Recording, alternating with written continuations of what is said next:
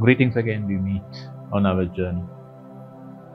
We discussed in the past, started off our journey with Exodus 23:20, that the Lord promised that His angels would go before the children of Israel on their way to the land of uh, milk and honey. And on their way, the Lord also said that he, the angel will bring them to certain tribes, like the Amorites, the Hittites, the Perizzites, the Canaanites, the Hivites. And today we'll discuss, uh, touch upon the spirit of Jebusites and how it impacts our life in the spiritual, in the natural right So when the children of Israel defeated all the Amorites, the Hittites, the Perizzites, the Canaanites, and the Hivites, the last tribe that they had to defeat was the Jebusites.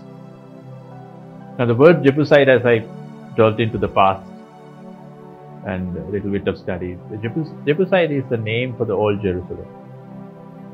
The Jebusites, what they did in Jerusalem, in the old Jerusalem, previously known as the dwelling place of Jebusites, is to defile the temple, to create uh, division against body, soul, and the spirit, to defile the body, soul, and the spirit, to cast down, trample, and to destroy. So, this is the last act of the effect of all the spirits that we discussed earlier in our last couple of days.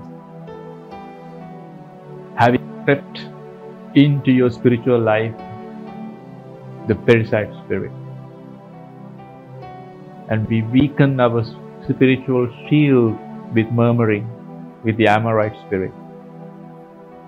And we weaken our, defile our bodies with idling and defile our thought patterns with Canaanite spirit by being zealous and covetous of the things of the world. And we also extremely are fearful of the things that happens in the world that the world can bring to us through the Hittite spirit. Now all these things work together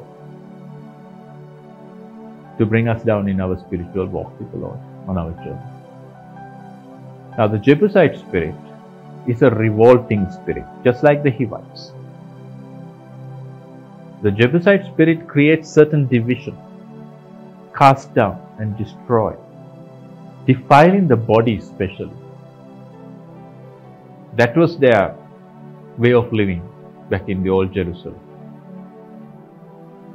And you can see that Jebusite spirit is also a certain Canaanite spirit attached to it as well, carnality. In the current context of an example we can take is that people claim themselves saying that this is how I was made by God. You need to accept that's the Jebusite spirit talking right through. God created man and woman, male and female.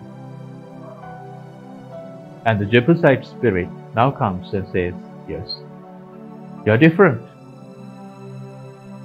And to make acceptance of it.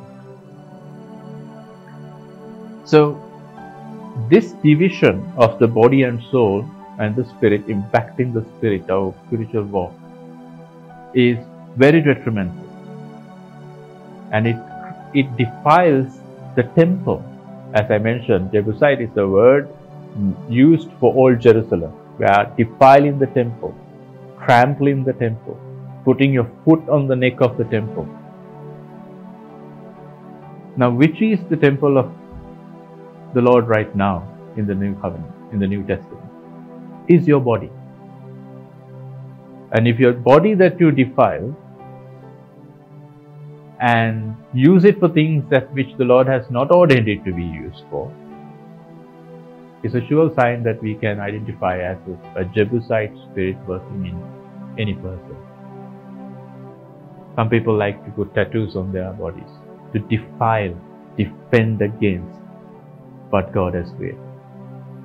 I have a definition for tattoos a permanent mark of temporary insanity where that when I talk to my friends, those who uh, uh, love to get tattoos on their bodies. And I ask them, why is it that you want to have it? And they say, it's because I like to have dominion over my body. I like to show my body that I can bear pain. I like to convince my mind that going through that pain is worthy. Then what about the pain that our Lord Jesus went through? When nails pierced his palms and his legs. What about the pain, excruciating pain that our Lord Jesus went through in the Garden of Gethsemane, thinking about our salvation. The salvation not of the Jews, of the Gentiles, of you and me. So think about a situation where that you go through a surgery and cut open, allow the doctor to cut open.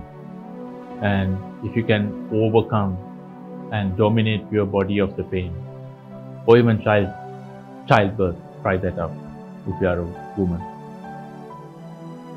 So these people, those who try to defile your body with piercings, with tattoos and all that, with their mindset thinking that I overcome my body, I am the Lord and Master of my body.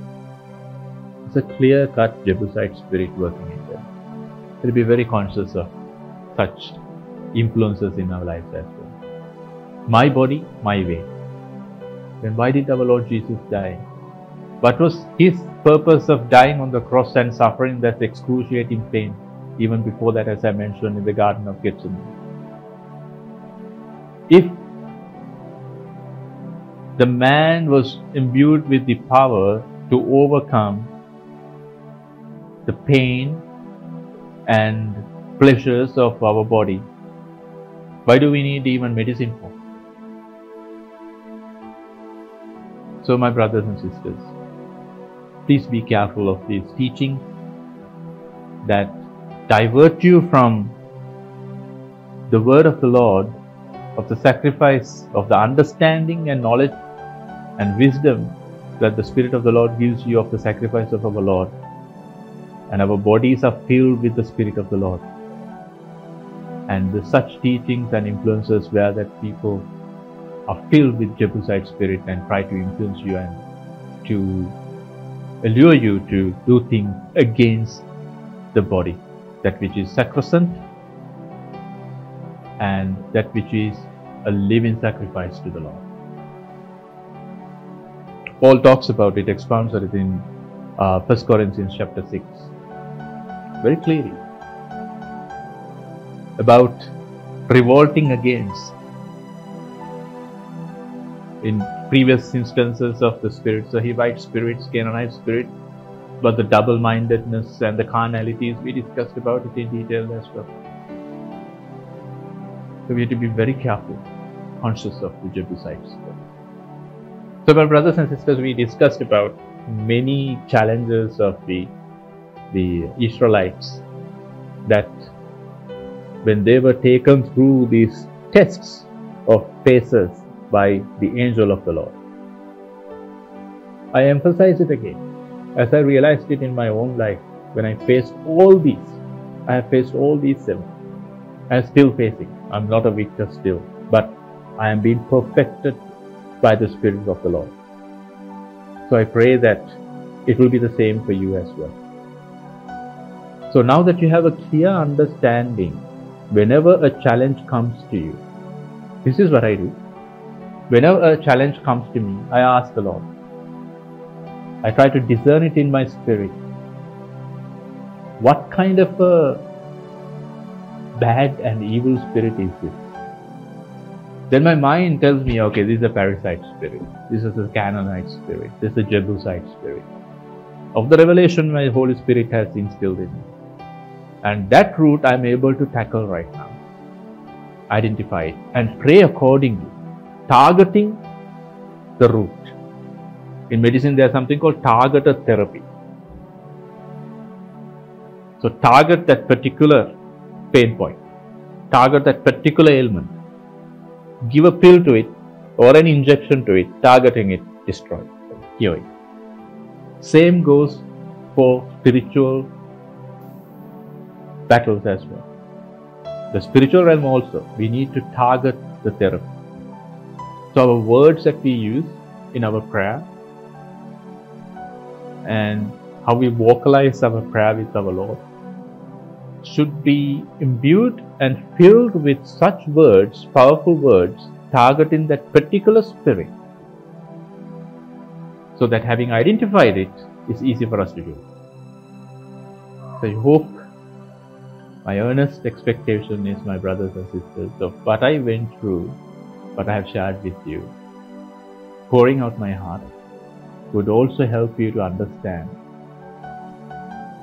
and recognize whenever an evil spirit out of this list of spirits that we discussed engulfs you or when you come face to face. So let's pray. Thank you, Father, in the name of Jesus, for opening our spiritual eyes and physical eyes to understand these challenges that we discussed about how the Israelites went through and the angel of the Lord was with them and cut them off utterly. In the same manner, in the spiritual realm also, in the natural right now, which is manifested, we also go through the same set of difficulties and challenges. And the Holy Spirit who lives in us, the word of the Lord which is indwelled in us, may make us stronger and fortified and encourage us to overcome them with the word of the Lord. In the name of Jesus we pray. Amen.